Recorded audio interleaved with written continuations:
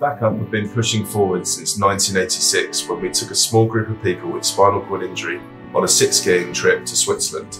Since then, we've been constantly expanding, improving our range of services by listening to people affected by spinal cord injury and providing what they need to live life to the full. We've come a long way together since that first skiing trip. We now offer a wide range of courses, mentoring, support in education and the workplace. But we know there's so much more we can do and many more people we can reach. Today I'm asking you to join all the people pushing forwards with Back Up by committing to give a regular amount each month. You might not even notice it. Your gift could be the price of a couple of coffees or a pizza, things you wouldn't normally give a second thought to. Giving a regular amount each month allows Back Up to develop our services and plan for the future with confidence, allowing even more people to live life to the full. Thank you.